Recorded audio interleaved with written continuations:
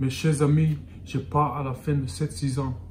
C'est avec beaucoup de regrets que je suis obligé de quitter le cast olympique avec ces merveilleux supporters et dirigeants pour des raisons familiales.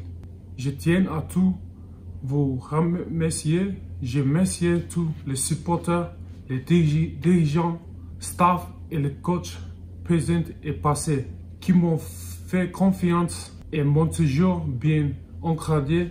J'ai passé de merveilleux moments avec vous et je vous garderai toujours tout dans mon cœur. Allez,